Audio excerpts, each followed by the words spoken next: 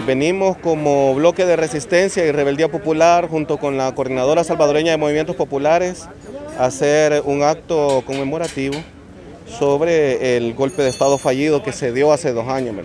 Que a nosotros y nosotras pues nos parece un, trágico día, un día de retrocesos en la, en la democracia y creemos que es importante denunciar este tipo de situaciones. Ya existían algunos antecedentes, principalmente en los discursos de odio promovidos por este gobierno, eh, sin embargo, el 9 de febrero significa un paso acelerado hacia los retrocesos eh, democráticos que se han ido dando posteriormente en este, en este país. Entonces sí nos parece que, fue un hecho que marcó que marcó y, que en realidad eh, golpeó la democracia, la frágil democracia que se venía construyendo con mucho esfuerzo. El tema de la, de la falta de transparencia en la información pública creemos nosotros que es eh, parte de estos retrocesos, ¿verdad?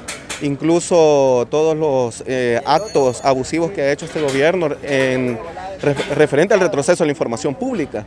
Eh, también creemos nosotros y nosotras que el ataque hacia partidos de oposición es una situación complicada. Los presos y las presas políticas, ¿verdad? Que, están que se mantienen en una condición irregular, ¿verdad? A partir de, procesos judiciales totalmente amañados desde nuestro punto de vista, ¿verdad? Eh, los cambios que ha habido en la Corte Suprema de Justicia y etcétera. Podríamos seguir mencionando muchos retrocesos que han golpeado a la población.